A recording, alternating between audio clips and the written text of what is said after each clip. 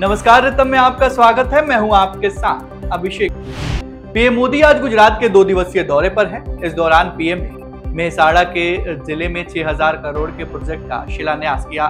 साथ ही वहाँ के लोगों को संबोधित किया। पीएम ने कहा कि आज करोड़ों रुपए के प्रोजेक्ट को शुरू किया गया है, जिससे यहाँ के किसानों को मजबूती मिलेगी और इससे पूरे देश के साथ कनेक्टिविटी भी बढ़ेगी। पीएम ने आगे कहा कि इन परियोजनाओं से मेहसाड़ा के आसपास के सभी जिलों को फ़ायदा होगा। विपक्षी के इंडिया अलायंस को लेकर नेशनल कॉन्फ्रेंस के उपाध्यक्ष और जम्मू कश्मीर के पूर्व मुख्यमंत्री उमर अब्दुल्ला ने कहा कि जिस तरह से समाजवादी पार्टी और कांग्रेस के बीच लड़ाई सामने आई, वह दुर्भाग्यपूर्ण है। यह गठबंधन के लिए ठीक नहीं है।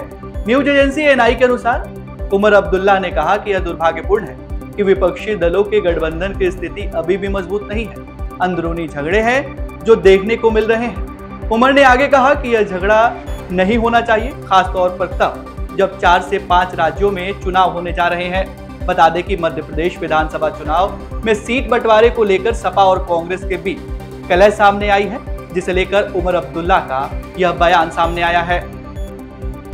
दिल्ली के पूर्व उप मुख्यमंत्री मनीष सिसोदिया को सुप्रीम कोर्ट से बड़ा झटका लगा है। दिल्ली शराब घोटाला मामले में सोमवार को सुप्रीम कोर्ट ने मनीष सिसोदिया की तरफ़ से दायर की गई जमानत याचिका को खारिज कर दिया। जस्टिस संजीव खन्ना और जस्टिस एस भट्टी की पीठ सीबीआई और ईडी के ज़रिए सिसोदिया के खिलाफ जाँच किए जा रहे मामलों पर फैसला सुनाते हुए कहा कि घोटाले से जुड़े कई सवाल के जवाब अभी नहीं मिले हैं। कोर्ट ने कहा कि दिल्ली शराब घोटाला मामले में 338 करोड़ का लेन देन हुआ है, जिसमें मनीष सिसोदिया की भूमिका संदिग्ध लग रही है। इसलिए याचिका खारिज की जाती है। कोर्ट ने आगे कहा कि अगर निचली अदालत में छह महीने में मुकदमा खत्म नहीं होता तो सिसोदिया जमानत के लिए दोबारा आवेदन दे सकते हैं। जम्मू कश्मीर में एक बार फिर टारगेट किलिंग का मामला सामने आया है। कश्मीर में फिर आतंकियों ने प्रवासी मजदूर को गोली मारकर हत्या कर दी है। यह मामला पुलवामा के एक गाँव का है, जहाँ यूपी के रहने वाले मुकेश कुमार को आतंकियों ने निशाना बनाया। यह जानकारी कश्मीर पुलिस ने पोस्ट के ज़रिए दी। इससे पहले रविवार को श्रीनगर के ईदगाह में आतंकी हमला हुआ था, जहाँ आतंकियों ने जम्मू कश्मीर के पुलिस इंस्पेक्टर पर फायरिंग कर दी, जिसमें पुलिस इंस्पेक्टर बलिदान हो गए थे। हमले के बाद इलाके की घेराबंदी की गई और मामला दर्ज कर लिया गया।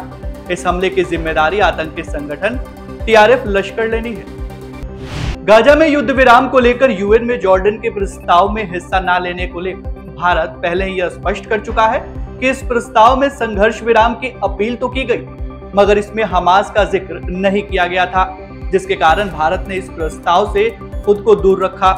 वहीं भारत के इस रूप की विपक्षी दलों के नेताओं ने आलोचना की थी, जिस पर अब विदेश मंत्री एस जयशंकर ने अपनी प्रतिक्रिया दी है। भोपाल के एक टाउन हॉल में बोलते हुए जयशंकर ने कहा कि आज एक अच्छी सरकार और मज़बूत सरकार अपने लोगों के लिए खड़ी है। जिस तरह घर में सुशासन ज़रूरी है, उसी तरह विदेश में भी सही फैसला ज़रूरी है। हम आतंकवाद पर कड़ा रुख रखते हैं, क्योंकि हम आतंकवाद के बड़े पीड़ित हैं। इसराइल की आयरन डोम एक ऐसी मिसाइल प्रणाली है जो रॉकेट को हवा में ही खत्म कर देती है। इसी तरह भारत भी अपना आयरन डोम बना रहा है। तीन लेयर वाला यह मिसाइल सिस्टम सतह से हवा में मार करने में सक्षम होगा। यह दुश्मन के हवाई जहाज़, फाइटर जेट, रॉकेट और मिसाइल को 400 किलोमीटर की रेंज में मारने में सक्षम होगा। बता दें कि बीस हज़ार करोड़ रुपए के इस प्रोजेक्ट के सफल होने के बाद भारत उन देशों में शामिल हो जाएगा जिसके पास खुद की हवाई सुरक्षा प्रणाली है। महाराष्ट्र के शिंदे गुट और अजीत पवार गुट के विधायकों अयोग करार देने वाली याचिका पर सोमवार को सुप्रीम कोर्ट में सुनवाई की गई। स्पीकर की तरफ़ से पेश सॉलिसिटर जनरल ने कहा कि विधानसभा सत्र दीपावली और क्रिसमस की छुट्टी के चलते कुछ विलंब होगा। फिर भी 31 जनवरी तक अयोग्यता से जुड़ी याचिकाओं के निपटारे की कोशिश करेंगे। जिस पर सुप्रीम कोर्ट ने महाराष्ट्र विधानसभा स्पीकर को आदेश दिया कि वह इकतीस दिसंबर की तारीख तक शिवसेना विधायक की अयोग्यता से जुड़ी याचिकाओं का निपटारा करे। वहीं एनसीपी के अजीत पवार खेमे के विधायक के मामले में इकतीस जनवरी तक निपटारा करे। मुख्यमंत्री पुष्कर सिंह धामी की अध्यक्षता में हुई मंत्रिमंडल की बैठक खत्म हो गई है। कैबिनेट बैठक जड़ी बूटी योजना, गुप्त काशी को नगर पंचायत बनाने का निर्णय, सूक्ष्म एवं लघु उद्यम विभाग के पैकेज नीति में संशोधन समेत 30 अहम प्रस्ताव पर मुहर लगी है। देहरादून सचिवालय में हुई इस बैठक में पुष्कर सिंह धामी के अलावा इस बैठक में कैबिनेट मंत्री रेखा आर्या और कैबिनेट मंत्री सुबोध उन्याल भी मौजूद रहे। वैश्विक स्तर पर आर्थिक और राजनीतिक उथल पुथल के बावजूद भारत का आर्थिक विकास जारी है।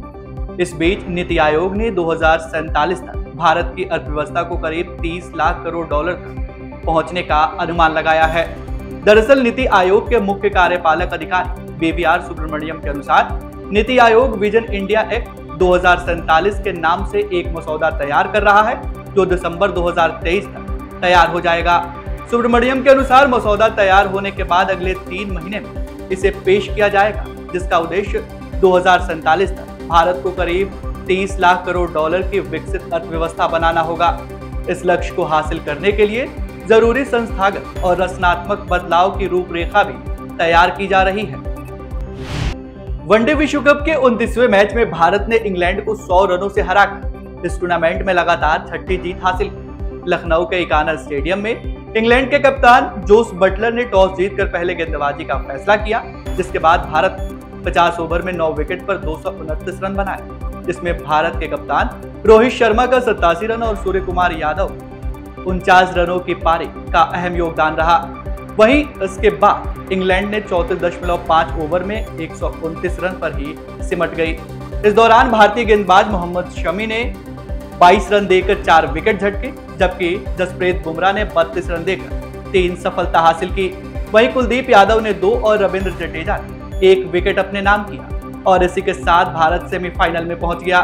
साथ ही वर्ल्ड कप के इतिहास में सबसे ज़्यादा मैच जीतने वाली दूसरी टीम भी भारत बन गया है। रोहित शेट्टी की आने वाली फ़िल्म सिंगम अगेन इन दिनों खूब चर्चा में है। हाल ही में फ़िल्म से सॉलिड एक्शन की सीन की तस्वीरें सामने आई थी। वहीं अब फैंस के एक्साइटमेंट को बढ़ाते हुए सिंगम अगेन से रणबीर सिंह का फ़र्स्ट लुक भी रिवील कर दिया गया है। अजय देवगन ने आज खुद एक्स पर सिंगम अगेन से रणबीर सिंह का फ़र्स्ट लुक शेयर किया। पोस्टर में रणबीर सिंह की वर्दी में धांसू लुक में नज़र आ रहे हैं। खास बात यह है कि संग्राम भाले राव के रोल में नज़र आने वाले रणवीर सिंह की इस पोस्टर में बैकग्राउंड में भगवान हनुमान की तस्वीर भी नज़र आ रही है। इसे देख फैंस के एक्साइटमेंट और बढ़ गई है। वहीं रणबीर सिंह का पोस्टर शेयर करते हुए अजय देवगन ने कैप्शन में लिखा कि मेरी स्क्वाड का सबसे कुख्यात ऑफिसर